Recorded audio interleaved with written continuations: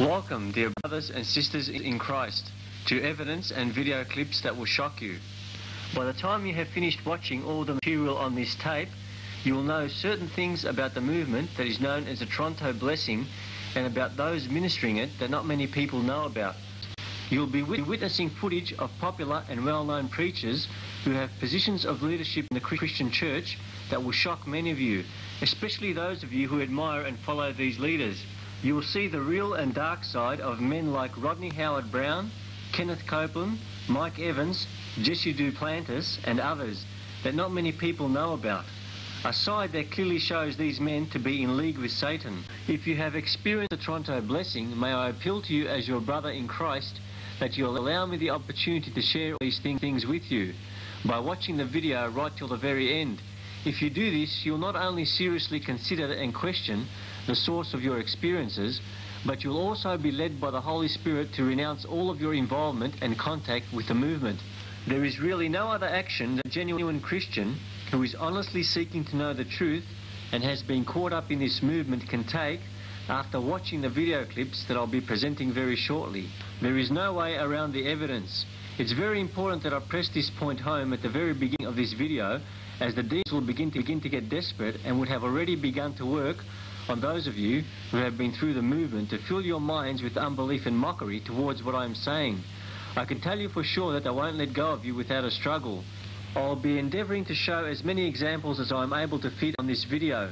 None of you should have any problems hearing all these things as they are easy to pick up when someone is pointing them out to you and telling you what to listen for. There is no doubt in my mind that you'll hear enough to know the truth of the spirit that is behind this movement and enough to come to the same conviction of what I have stated these men to be. So watch now the rest of this video with very careful attention as we are about to pull the Christian mask off the face of this movement and you'll see the spirit of Satanism working through these men in these meetings.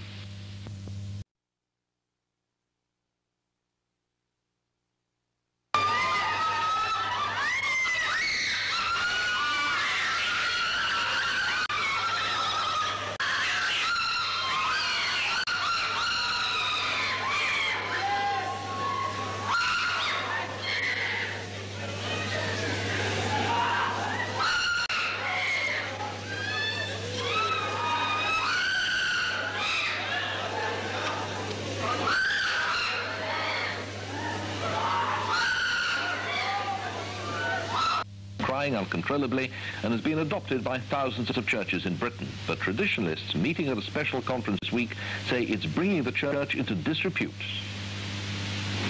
To some, the Toronto blessing is a peaceful, refreshing experience, deepening their faith, and its spread over the past year into even mainstream churches is evidence that the Holy Spirit is at work, and a full-scale Christian revival could be just around the corner.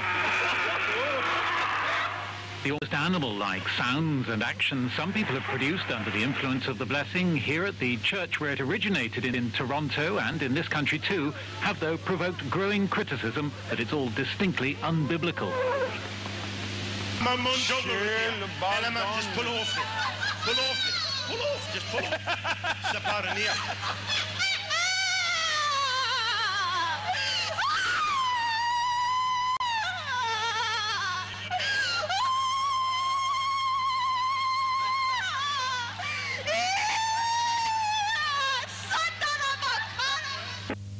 Let's move on now to this next section as we spend a fair bit of time on the sign of allegiance to Satan.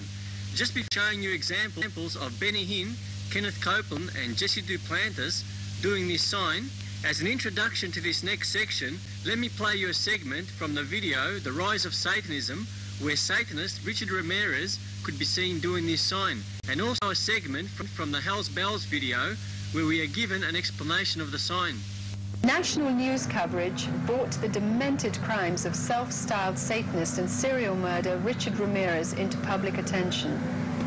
His crimes included raping a woman in the same bed as the dead body of her husband, whom he had just killed. She then listened helplessly as Ramirez sodomized her eight-year-old son. Another woman was forced to swear allegiance to Satan as Ramirez beat and raped her, while yet another elderly lady had a pentagram carved on her thigh.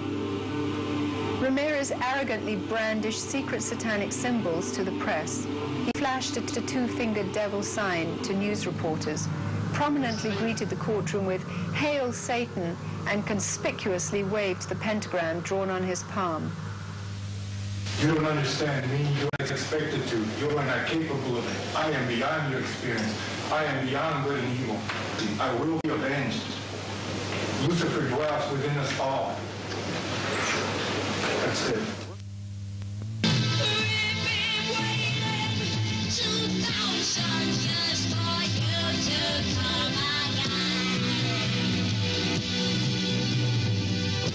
Another symbol that is integral to satanic religion is the il cornuto, a hand gesture that represents the devil himself. Like the pentagram, it too is virtually everywhere in rock music. Ozzy Osbourne, Meatloaf, Rick James, Cheap Trick, Motley Crue, Frankie Goes to Hollywood, Coven, The Beatles, Kiss, Todd Rundgren, and Dio are just a few examples where this sign for Satan is used. There's a very famous Christian rock performer who does the sign of allegiance to the devil in concert. We're going to take a look in a second at a video clip of her doing just that. You can find this sign on the back of the Satanic Bible by Anton LaVey. It doesn't mean I love you. It means allegiance to Satan. When the thumb and two middle fingers are turned down and the index and the pinky are turned up, it signifies the horns of the goat and that the Father, Son, and Holy Ghost are in subjection to the devil and Antichrist.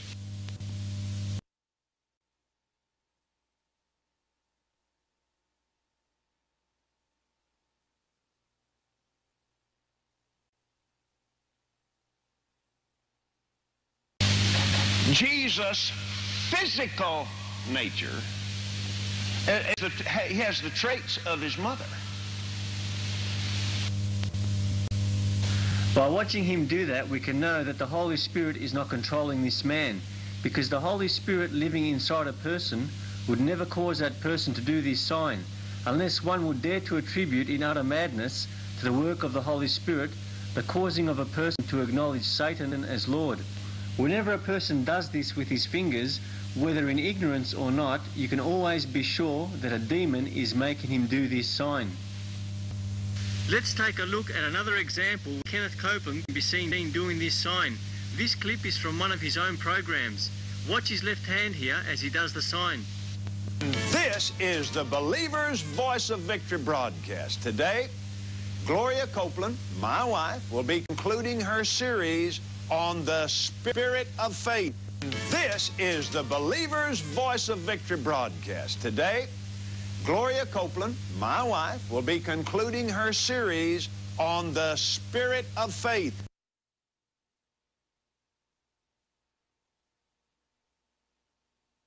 Watch his right hand here and you'll see him doing the sign. I don't wait for the devil to attack me. I do know when I start doing things for God in a big way, like buying more television time, building, building, you know. Watch this one also, where can be seen doing it again. This one is very clear. Watch him as he raises his right hand and does the sign of allegiance to Satan. Let me tell you why he asked this guy for his address. He said, why? I said, you're going to bless him. He said, yeah, I'm going to send an offering. I said, me too. And we did, and it was a good offering. You know, you know what we were? Hidden channels of communication. God had pre prepared that man to meet us so we could be a blessing to him, to put some fruit in his life. He said, yeah, I'm going to send him an offering. I said, me too. And we did, and it was a good offering. You know, you know what we were? Hidden channels of communication. God had prepared that man to meet us so we could be a blessing to him, to put some fruit in his life.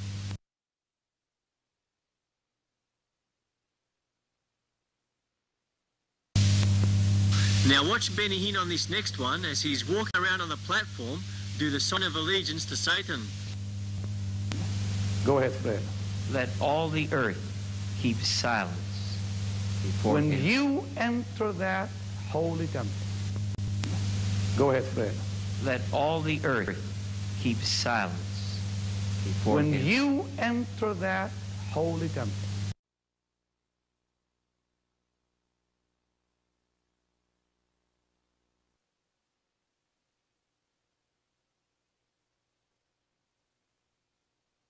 Somebody said, well, I don't know, is this God?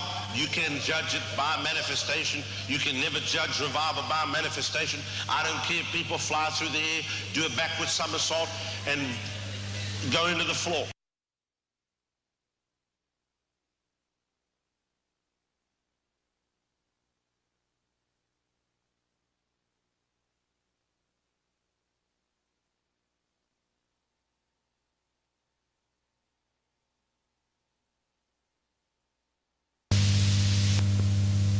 It's examples like this next one which show that these men are in no way ignorant as to the meaning of this, this sign.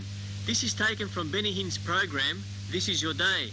Here we can see this lady speaking into the microphone that's in Benny Hinn's hand. Now watch this next bit very carefully.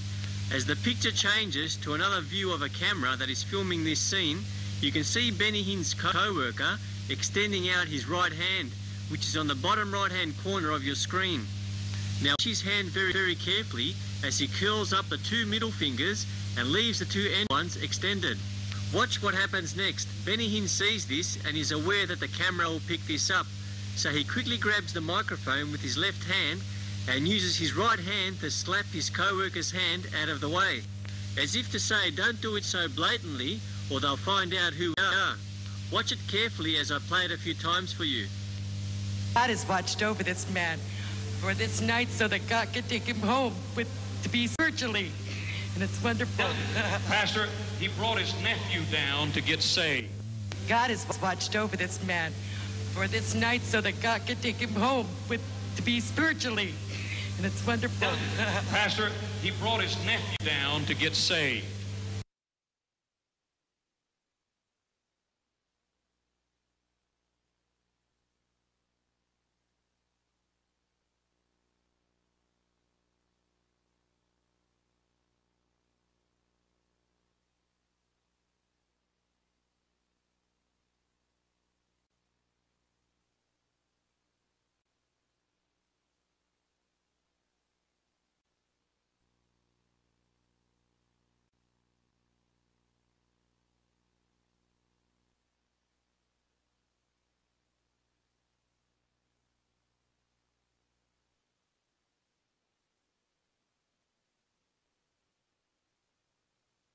This is the one that a lot of Christians viewing the footage have already picked up.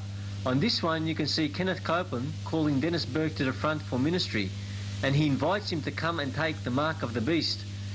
What we must understand here is that if he comes out and pronounces the word clearly, a large part of the congregation would probably get up and walk out of the meeting and reject his ministry altogether. But if he says it in a disguised manner, making out as though he is speaking in tongues, then he can fool the listeners and get away with it. So we are not putting words into his mouth as the words mark of the beast are clearly pronounced. And that should be enough for a Christian to seriously consider rejecting his ministry. He is not speaking in another language here in which the words of that language sound like this phrase in English. I'll be proving this to you on the next example. So let us have a listen to it. I'll play it for you two times at normal speed and then I'll freeze the picture and play the sound of his voice at slower speeds in order to help you hear exactly what he's saying. I'll be doing this to all the examples on the video. So listen carefully now to Kenneth Copeland's voice as he's purposely speaking in a disguised manner while pretending to be speaking in tongues. And he says the words, come, take the mark of the beast. Come on, come on. Dennis, Dennis Burke, come here. Oh. Met de makele beest. Bole. Geen Akava man bij Christus kapana. Dengrip elo el emanga mango ne. Come on, come on. Dennis, Dennis Burke, come here. Met de makele beest. Bole. Geen Akava man bij Christus kapana. Dengrip elo el emanga mango ne. Love and the marketly beast.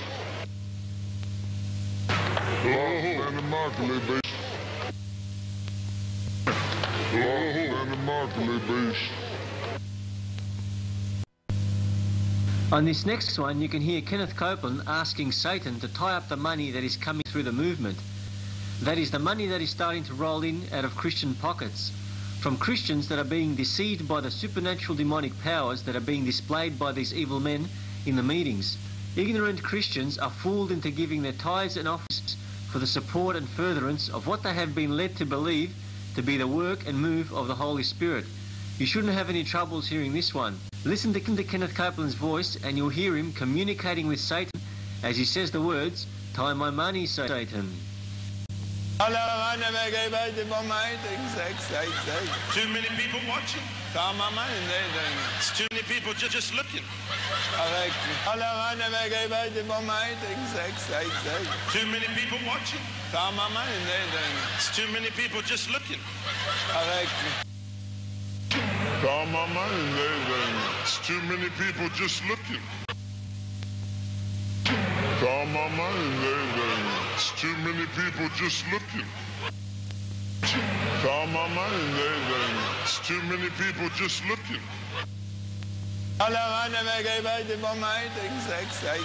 Too many people watching. It's too many people just looking. If you forget about everybody else and just enter in. Let me show you an example of Rodney Howard-Browne. Watch him first how he instructs the people not to pray.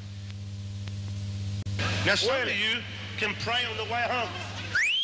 Receive, receive, receive, receive. Now, now, now. No socorro. Huele. There it is, there it is. There, there it is. Take that.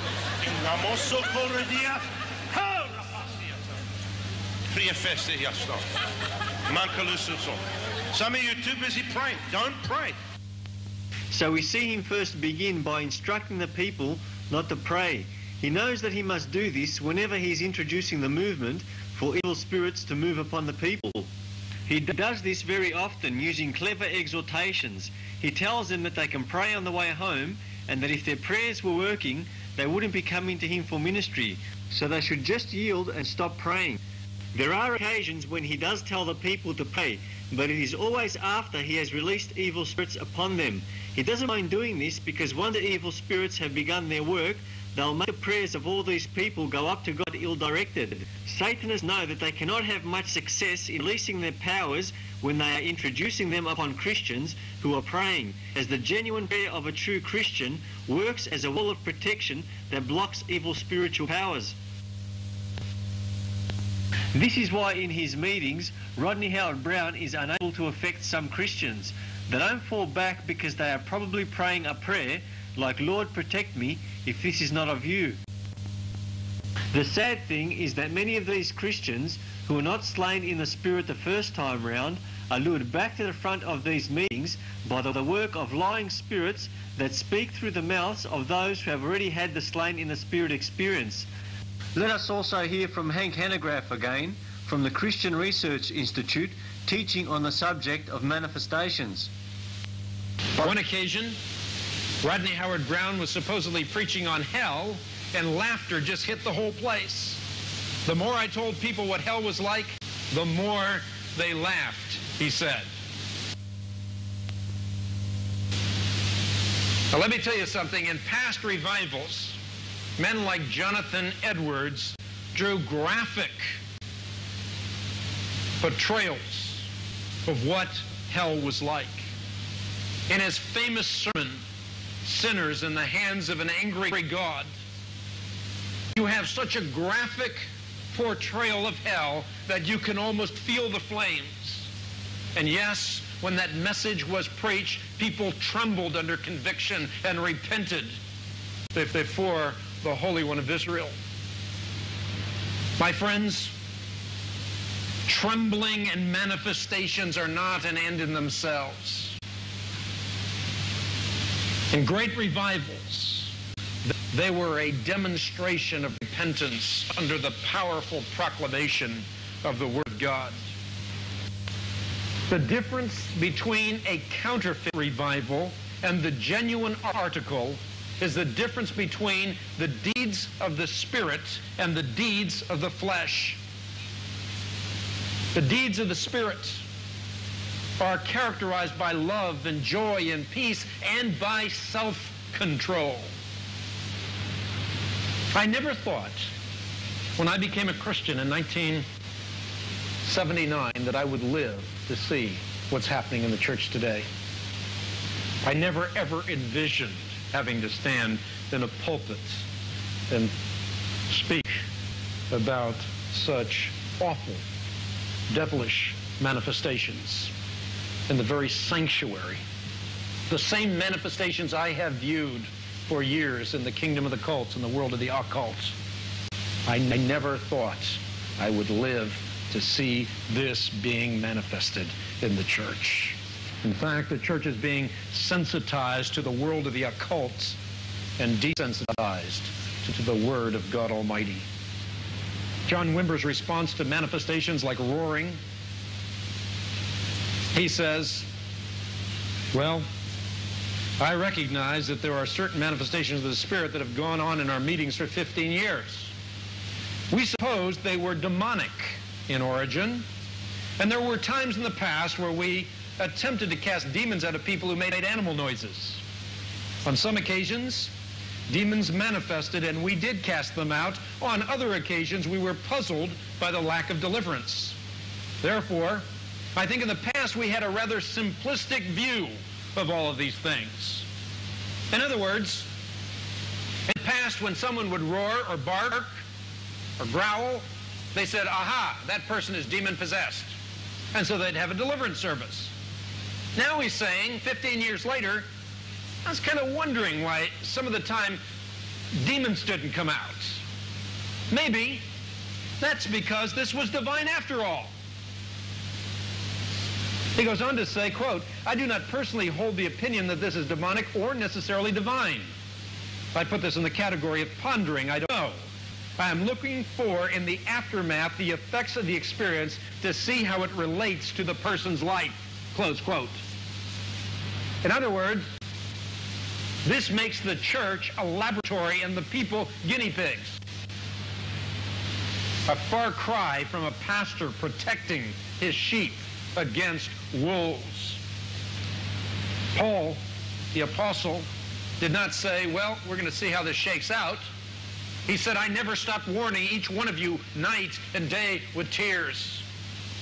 He said that many will, will be deceived, not by those in the kingdom of the cults, but even from among your own number, he said, men will arise, distort the truth in order to draw away disciples after themselves.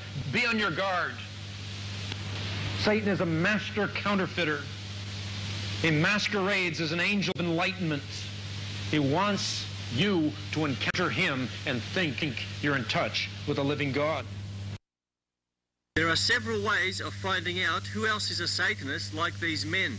Whenever a Christian minister speaks out against any one of the Satanists, there are others who will run to their aid and do everything they can to discredit what is being said about the Satanist. This has happened on many occasions. One of those was when Hank Hanegraaff from the Christian Research Institute began to speak out against the teachings of the faith movement, in particular the teachings of Kenneth Copeland. He was met with strong opposition by certain other men. Let me just play you this excerpt from the Christianity in Crisis audio tape, where you hear what Paul Crouch, Kenneth Copeland, and Benny Hinn had to say. Those who are feeding this, this cancer occupy some of the most powerful platforms within Christianity. They control vast resources and stand to lose multiplied millions of dollars if they are indeed exposed. The stakes are now so high that those who are plunging Christianity into crisis seem willing to do and say virtually anything to silence opposition and to rally support. And that's no empty charge. In fact, to prove that what I'm saying is true, listen to this heretic hunters, these guys who spend their lives straightening us all out doctrinally, they're going to go straight to hell. They're going to absolutely... I, I think they're damned and on their way to hell, and I don't think there's any redemption for them. I said, to hell with you. I say, get out of God's way. Quit blocking God's bridges, or God's going to shoot you if I don't. I refuse to argue any longer with any of you out there. Don't even call me if you want to argue doctrine. If you want to straighten somebody out over here, if you want to criticize Ken Copeland for his preaching on faith or Dad Hagin, get out of my life. I don't want to even talk to you or hear you. I don't want to see your ugly face. Several people that I know have criticized. Some of them are dead right today in an early grave because of it, and there's more than one of them got cancer. I don't care whether you like me or, or, or, or, or not. Don't ever touch me. Don't ever touch Paul Crouch. Let me say something else too, and I really don't care if you like this or not. You have attacked me, your children will pay for it. I've looked for one verse in the Bible, I just can't seem to find it. One verse that said if you don't like him, kill him. I really wish I could find it. I wish God would give me a Holy Ghost machine gun. I'll blow your head off. Whenever anyone seriously opposes these men by attacking their teachings, this is the cultish manner in which they bite back to defend themselves. Now there is also another way of finding out who else is a Satanist. There are people of whom these men continually speak well of during their preaching and recommend their listeners to learn from. Some of the people which they continually mention in their preaching are names like Kenneth Hagin, Kathryn Kuhlman, Aimee Semple McPherson, William Branham, T.L. Osborn, Jerry Savelle, John Avanzini, Marilyn Hickey, Robert Tilton, Paul Crouch, Frederick Price, and Morris Cerullo, just to name a few. All of these people preach the same gospel. Have a listen to some of their preaching. This is the gospel that they preach. On radio and television, many faith teachers presented Jesus who looks remarkably like themselves. He is even decked out in designer clothes. uh, well, what else are you going to call it? Now, let, uh, designer clothes, that's blasphemy. No, that's what we call them today. I mean, you didn't get the stuff he wore off the rack. It wasn't a one-size-fits-all deal. Uh-uh, uh-uh. No. No, this was custom stuff. According to faith teachers like Avanzini, Jesus was handling big money. Predictably, they also claim that Jesus had a nice house, a big house. And his followers are said to be incredibly wealthy. Why? Paul had the kind of money that people, that government officials would, would block up justice to try to get a bribe out of old Paul so committed to this theology is Avanzini that he attacks apologists and theologians who teach that Jesus was a suffering servant. In utter disgust, he says. I don't know where these goofy traditions creep in at, but one of the goofiest ones is that Jesus and his disciples were poor. Now, there's no Bible to substantiate that. Truth is, however, there is Bible to substantiate it. For example, Paul in 1 Corinthians chapter 4 says, To this, very hour we go hungry and thirsty. We are in rags. We are brutally treated. We are homeless. In Philippians 3 he says, Whatever was to my profit I now consider loss. What is more, I consider everything a loss compared to the surpassing greatness of knowing Christ Jesus my Lord, for whose sake I have lost all things. But despite this fact, Avanzini says... You can't become like him if you don't understand how he was financially. He was anything but poor. Of course, John Avanzini is not alone. Oral Roberts wrote a book entitled How I Learned Jesus Was Not Poor. And then there's Frederick Price, who says he's trying to get you out of this malaise of thinking that Jesus and the disciples were poor and then relating that to you, thinking that you as a child of God have to follow Jesus. The Bible says that he has left us an example that we should follow his steps. That's the reason why I drive a Rolls Royce. I'm following Jesus' steps. Jesus was handling big money. You don't think these apostles didn't walk around with money? I mean, they had money. I was shocked when I found out who the biggest failure in the Bible actually is. Okay. You know, everybody asks you, say, who's the biggest failure? They say, Judas. Somebody else will say, no, I believe it's Adam. Well, how about the devil? He's the most consistent failure. okay. but he's not the biggest in terms of material failure and so forth. Biggest one in the whole Bible is God. I'm sick and tired of hearing how it used to be back 40 years ago. I got so sick of it, I said, Lord, if I hear it one more time, I'm going to throw up. I want to see it now. And I'm sick and tired of hearing about streets of gold. I don't need gold in heaven. I got to have it now. I got to have it here. You say, well, Benny isn't that wonderful to have gold, sweets, and glory? Well, of course. But if I hear the thing one more time of how it will be and how it was, I'm going to kick somebody. Della brevibia. oh, yeah, yeah, yeah, yeah, yeah. We're not worried what other people think. No, uh-huh. Doesn't matter what they think. oh, do boridia sta pagaliado. Oh, le bevedia passionopre.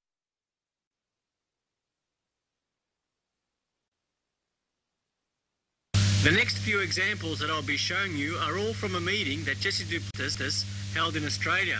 Let me begin by showing you another example of Jesse Duplantis doing this sign. Now on this one you can hear him quickly say the words, I'm with Satan, immediately after he does the sign. There are only two possible explanations for what he says here. It is either him doing this deliberately or a demon speaking out of him that says this. Watch his right hand very carefully as he does the sign and then quickly says the words, I'm with Satan. Or he didn't know Jehovah as Father. He was a reciter of learned words. I want to tell you something. A, a, a, or oh, he didn't know Jehovah as Father. He was a, was a reciter of learned words. I want to tell you something. A, a, a, he was a reciter of learned words. I want to tell you something. He was a reciter of learned words. I want to tell you something. He was a reciter of learned words. I want to tell you something. A, or oh, he didn't know Jehovah as Father. He was a reciter of learned words. I want to tell you something. On this next one, you'll see what kind of a blasphemous spirit it is that is moving this man. As he says that when you become a son of God, you become a son that serves Satan. He's preaching from John chapter 1 and verse 12 here.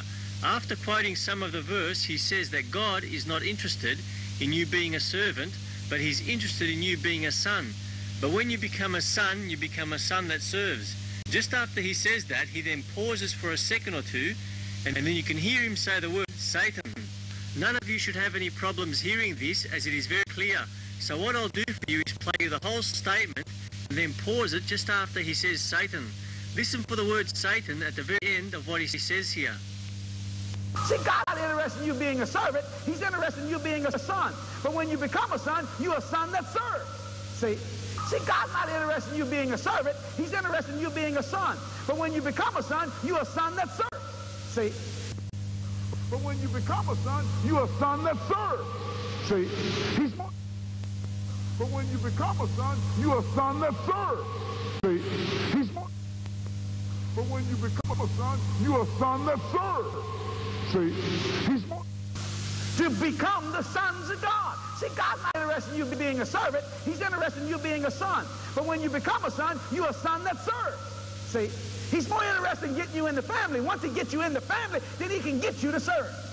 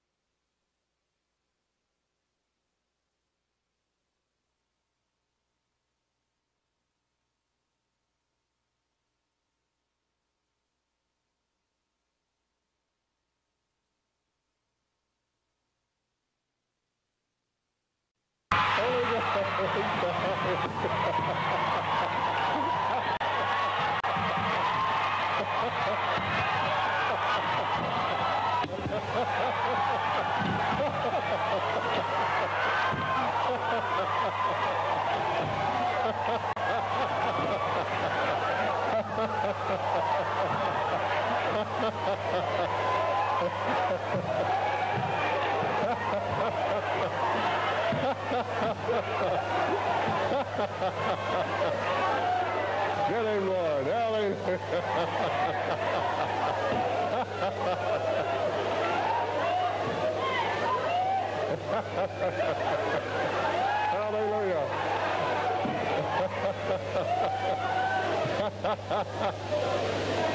yeah, I better get all the mics out of the way.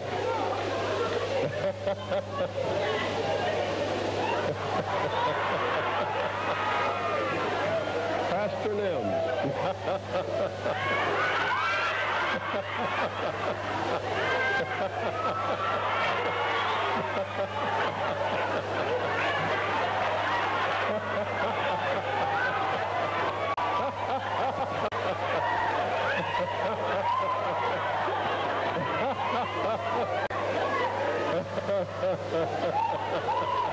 Get that lady back. Get her too, right? Get them both drunk and uh, Holy Ghost. Hallelujah.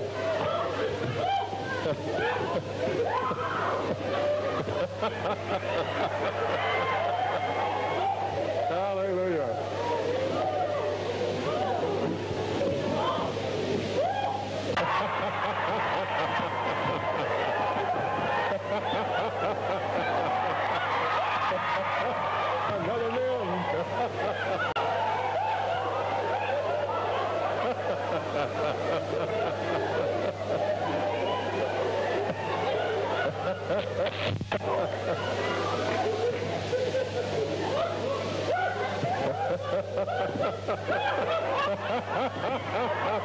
Get him, Lord.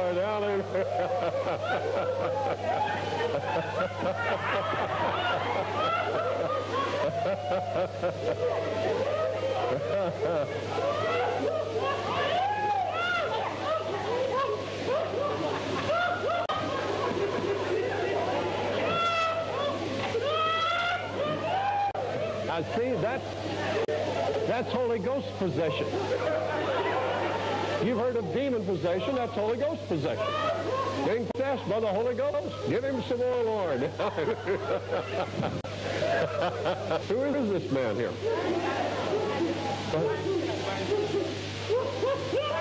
Ben Banjo? Hey, Banjo!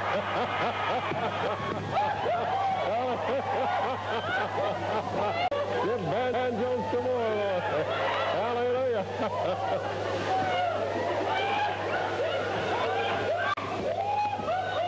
I just realized. Get him, Lord. I just realized God's playing his banjo. Did you hear that? God's playing his banjo.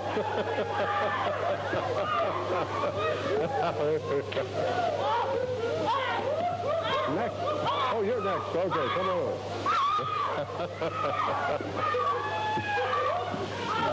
now, what?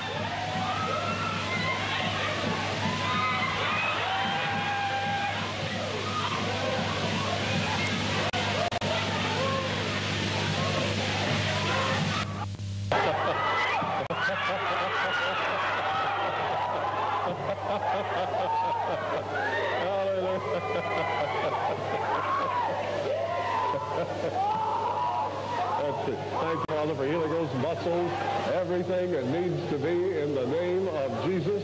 By faith, it's done. Get power, Lord. Hallelujah. Get him. Drunk in the Holy Ghost. Hallelujah. Hallelujah. Listen to what he says as the lady is manifesting. He's ministering to a young man. He starts by saying, in the name of Jesus, and then he says, my Satan's girl, referring to the lady, and then immediately after that, while ministering to the young man, he says, loose his power with us.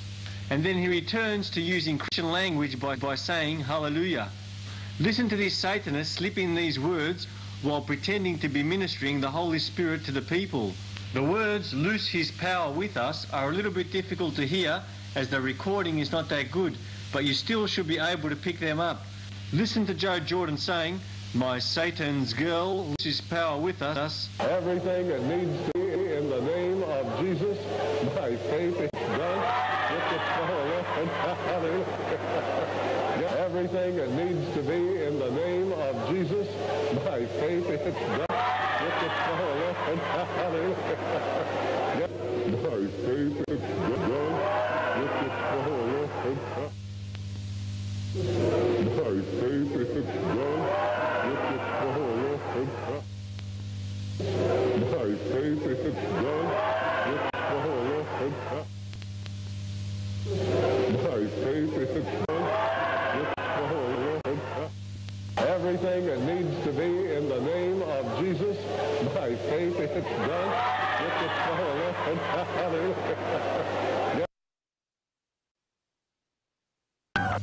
her, fill her, fill her.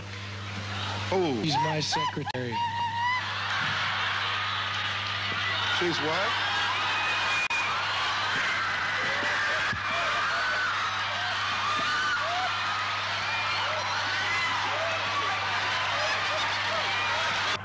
Now, there's something going on here. I, uh, I'm sure you figured that out, but Mary, Mary Audrey heads up our ministry team here.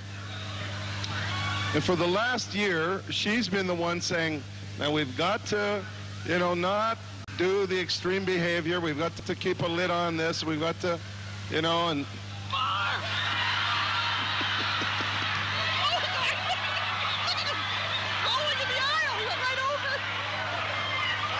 He just flipped right out of his chair.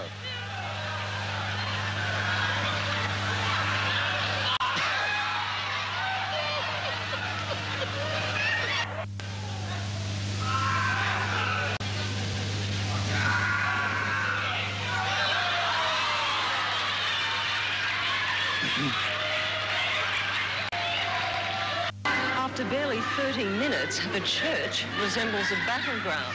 As you can see, people are quite literally dropping to the floor like flies.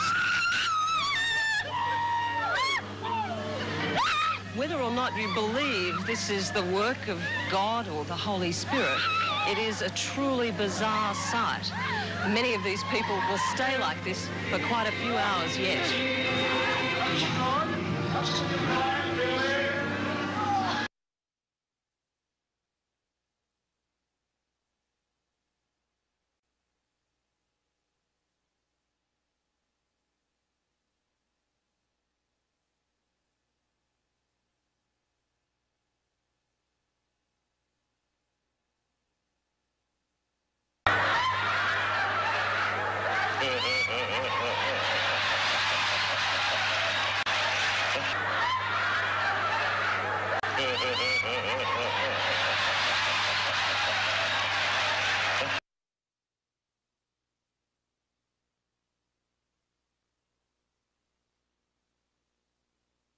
On this next one, you'll see Stacey Campbell, one of the leading women of the movement, get taken over by a supernatural power and start to preach a message about the love of God and the movement.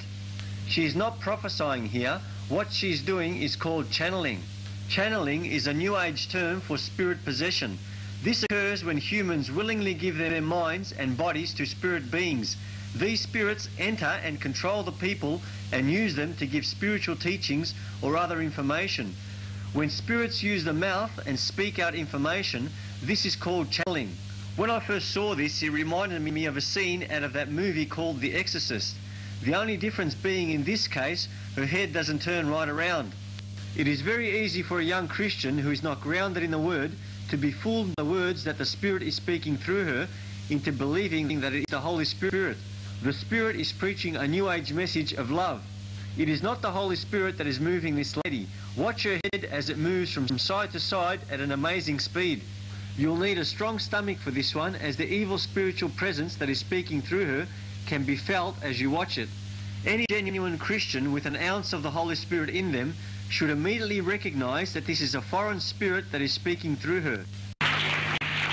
This is Stacey Campbell. This is the better looking part between Wes and Stacey and the by far the more anointed. No, I'm just teasing, but very anointed person. Uh, First Corinthians, 1 Corinthians 13. If I speak with the tongues of men and of angels but do not have love, I have become a noisy gong, noisy gong or a clanging cymbal. And if I have the gift of prophecy and know all mysteries and all knowledge, and if I have all faith so as to remove mountains but do not have love, I am nothing. And if I give all my possessions to the poor, and if I deliver my body to be burned but do not have love, it profits me nothing. Love bears all things, believes all things, hopes all things, endures all things. Love never fails, but if there are gifts of prophecy, they will be done away. If there, there are tongues, they will cease. If there is knowledge, it will be done away. Um, and uh, uh, now abide faith, hope, and love, these three. But the greatest of these is love.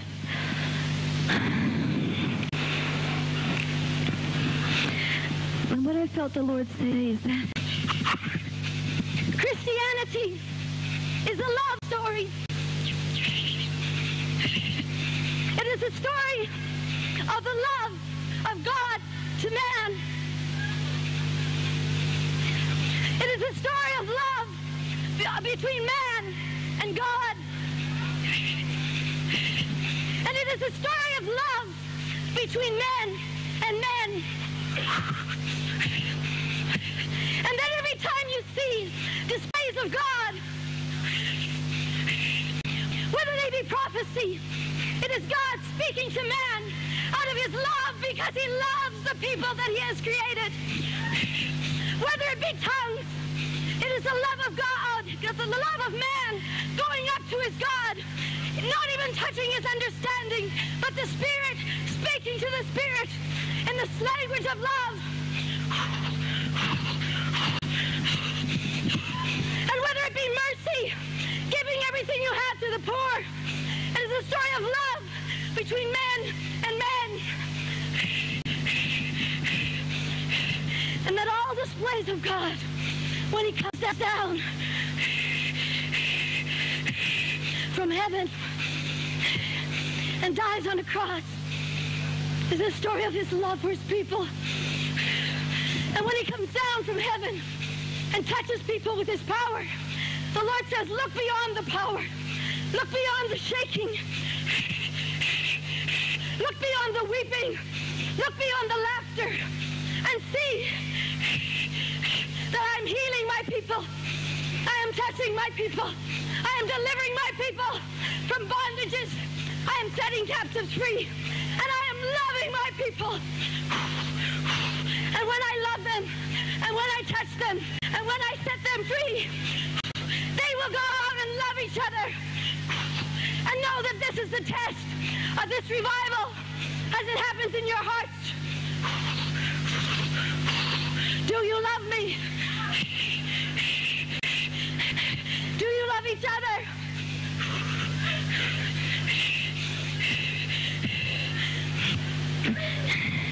I feel like the Lord said also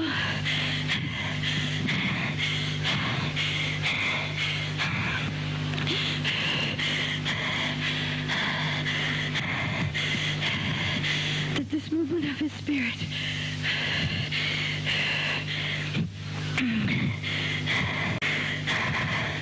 will truly be a test of love.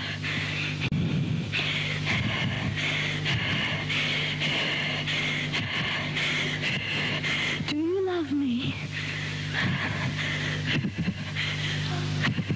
More than the pull of religion to drag you back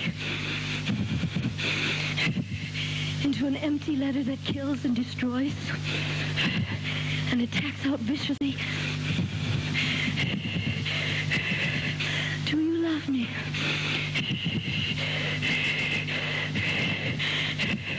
More than your father and your mother?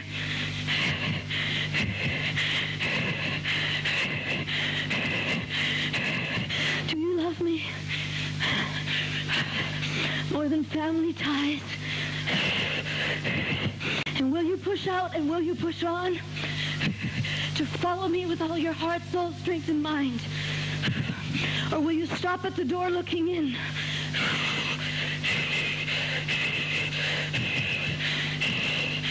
And also, do you love me enough to forgive those who persecute you? To pray for those who speak evil of you?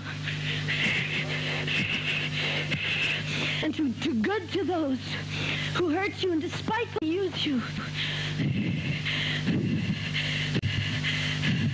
For Christianity is a love story.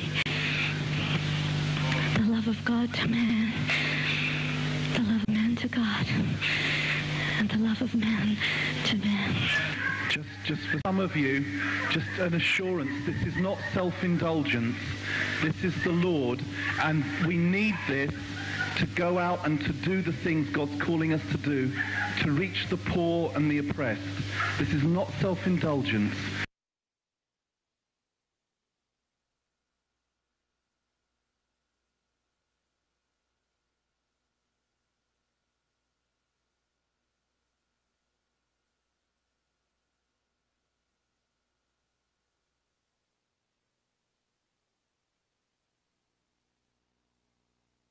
You know what? If your engine is not revving up, you know what you need?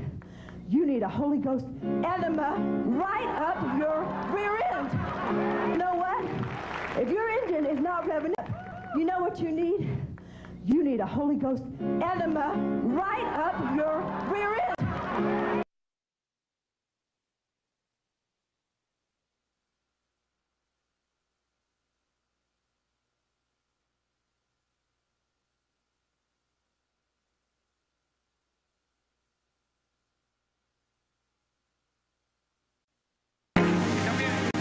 Guys, what's about to happen to you happened on the day of Pentecost.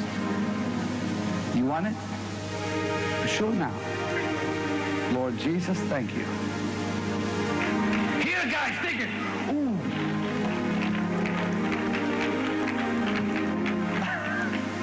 After waving his hand over the children and causing them to receive the laughter, Benny Hinn began to speak about how glorious the presence was that was causing the laughter in the children. Immediately after he says that, you could hear him say the words, Lord Jesus, give them sin, holy laughter to the people, I pray. When he says the words, give them sin, he says them very quickly, so you'll have to listen very carefully for it. You'll hear it clearly when I slow it down for you. Listen to him quickly say the words, Lord Jesus, give them sin, holy laughter to the people, I pray.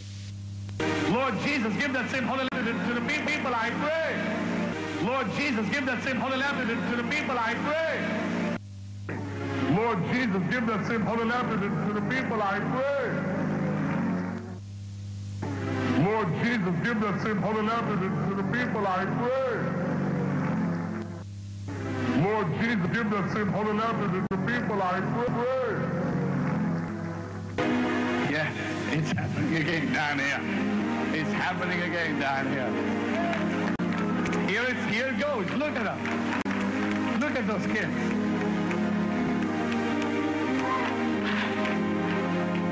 Leave, leave it, just leave it. Just look at them laughing down. This is glory. Lord Jesus, give that same holy laughter to, to the people, I pray. That is beautiful on these kids. Any more kids down here? Get up here quickly.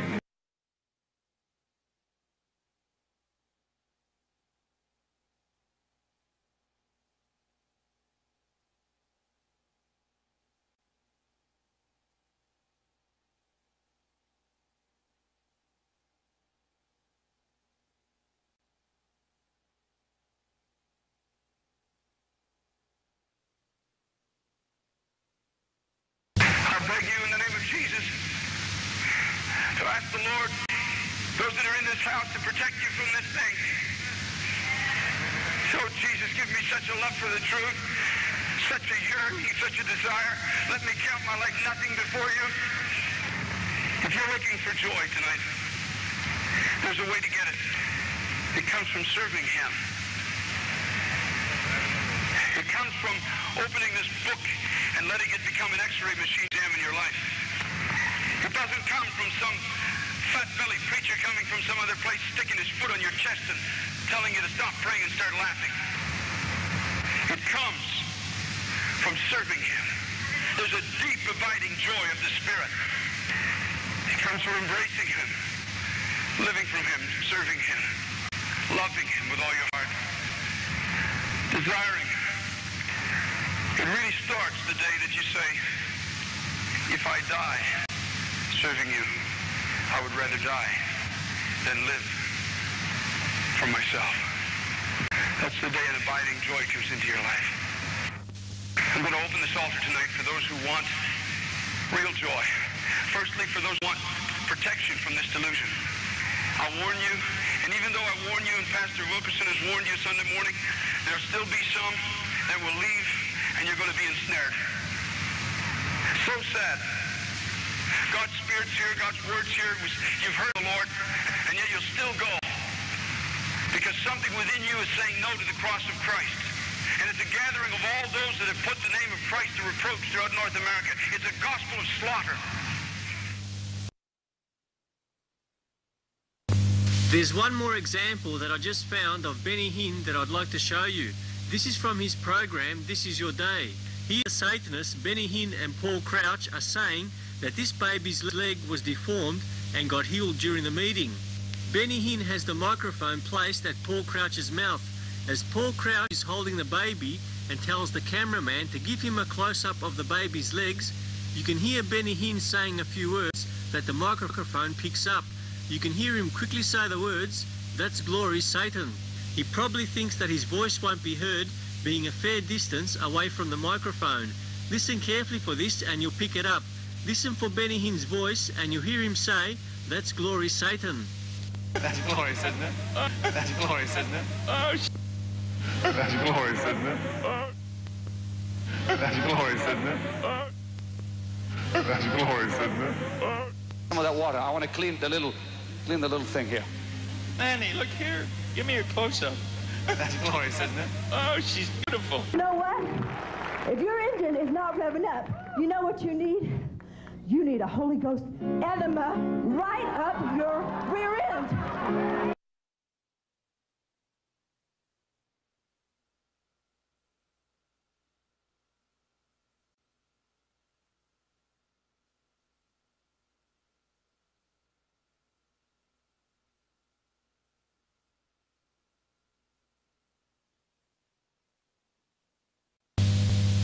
It has been my job on this video to present the evidence to you.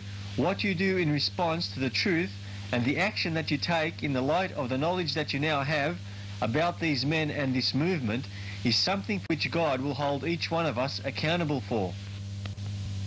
If you are a genuine Christian and have been caught up in this movement, if the Holy Spirit really dwells in you, then you should have already done what God expects you to do. Nothing less than a total renunciation of all of your involvement with the movement can be acceptable. You must not only confess your association with this movement as sin, but also repent by taking a firm stand against the movement, openly confessing with your mouth that this is not of God. To remain neutral is to remain in a state of sin. A positive choice for truth must be made for God's forgiveness, favour and blessing to be experienced. My prayer for you is that you will be led by the, by the grace of God to do the right thing. May God bless you and I thank you for the opportunity for allowing me to share these things with you. I look forward to your company on part two of evidence and video clips that will shock you, the Toronto Blessing Unmasked.